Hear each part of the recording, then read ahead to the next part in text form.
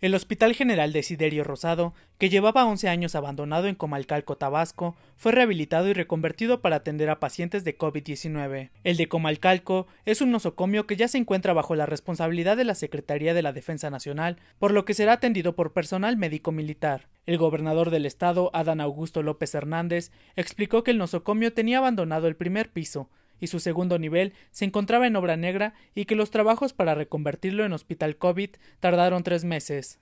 La Secretaría de Salud Federal ubicó a Tabasco con 69% de capacidad de camas para recibir a pacientes graves.